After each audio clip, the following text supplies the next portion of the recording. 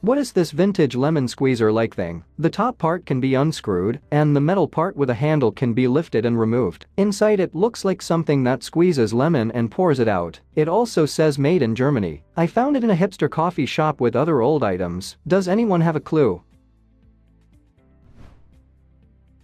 It's a meat juice press from around the 1890s. Back in the late 1800s, these were considered a must-have for many affluent households. During this period meat juice was used as a concentrated form of nourishment for the ill. Also, it was a common belief that there were medicinal powers in beef juice. It was used to extract juice from beef, boiled mutton, tongue, or bone turkey. The cooked meat was placed inside, the crank was turned, and the juice extracted. What are these figurines we found in the yard of my old house in Agra, India? These were found 10 to 20 feet down. We dug a bit more around the site but didn't come across any more figurines. When it comes to value we haven't tried to sell it. But people have offered $100 for 3 to 4 figures. We have yet to contact someone to give us market value for these. Any help you can provide would be much appreciated.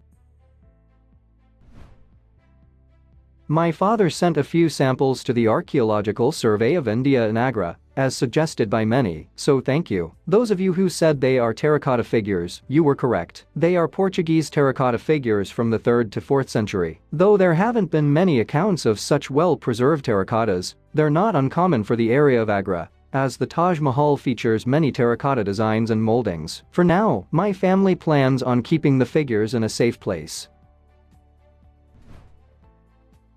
Why is this toilet shaped like this? I found this in a hospital in the ER waiting room. My best guess for the reason for the design was a toilet where you could vomit and poop into it at the same time. Any idea what is this toilet for? It's a bedpan holding toilet bowl for holding the bedpan vertically so that it can be cleaned out after use. The water pipe on the back of the toilet will have a fold-out sprayer for this purpose. What is this thing I found in a family member's workshop? It appears to be cast steel or iron, no markings on it. And you can see mold or casting seams along the edges. I suspect the use has something to do with rope or something. But don't have a lot to add in terms of guesses or info about its past. The family had it, and we collected interesting old objects. Any ideas? It's a mailbag hook, just looks like an older version, a device used to hold mailbags open in a post office sorting area. The eye opening slid over a horizontal pipe anchored to a wall or counter. The back side of the bag was hooked over the thumb-like prong, allowing the bag to hang fully open, making a larger opening in which to toss envelopes. What is this empty red metal frame on the sidewalk in Washington, D.C.? It is entirely made of metal with my rough estimate of around 7 feet high. It seems like it may have held something inside at one point. If so, it seems fairly well maintained for being out of use. Google reverse image search gave me sidewalk and garden, which was very helpful. What is this thing?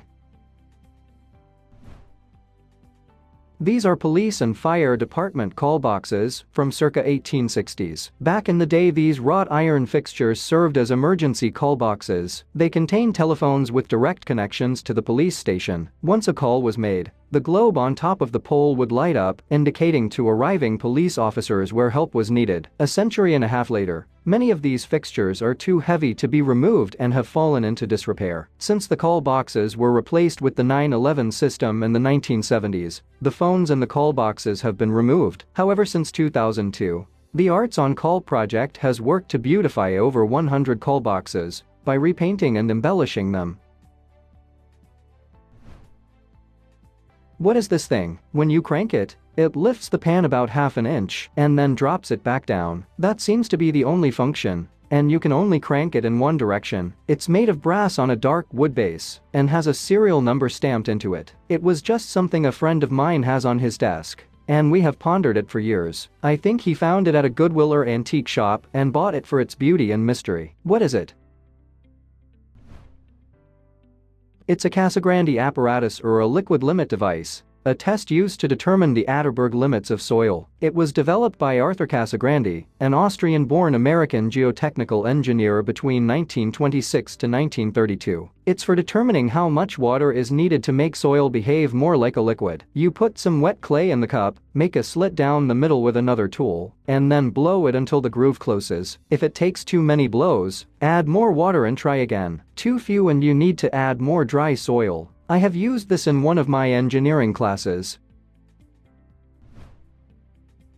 I found this in a washroom in London. What is this thing in the middle? It spins around on its hinges but is completely empty. At first I thought maybe soap, but that doesn't seem likely or practical. What would happen if you had soap in there? It would dribble down the sides as you turned it, not into your hand. I found it at the Freemason Society building. Any ideas? Well, it is what it is, it's a metal version of the Beau Brummel liquid soap dispenser. It was advertised as a cleaner and sanitary alternative to the messy powdered soaps used during the first half of the 20th century. The swinging orbs were typically installed in the lavatories of hospitals, schools, train stations, hotels, and commercial buildings. When I was a kid, we had both powdered soap and liquid soap at school. I always used the powdered stuff, it had a nice abrasive quality. I'm trying to figure out this thing I found at an estate sale. I've tried Google Lens and just called it random things to no avail. I thought maybe it was for hanging over a doorknob. Do you have any ideas about it? It's an antique Art Nouveau goddess clock without a dial made by the Ansonia Clock Company circa 1902. The company was founded in Ansonia, Connecticut in 1851 and moved to Brooklyn, New York in 1878. The company has produced hundreds of different clock models including gingerbread, porcelain, and crystal regulator styles. The business shut down in 2006. What is this funny shaped case? It has an octagonal base with a conical top and an indented underside. I saw a man carrying this case at the airport. It looks like a donut seat case, but can't figure out what it is. Any idea what is it for? It's a travel cowboy hat case. Some cowboy hats cost literally thousands of dollars, and so they have cases. My husband has his in one of our closets. It protects the shape and prevents additional cleanings being needed from dust and other airborne particles.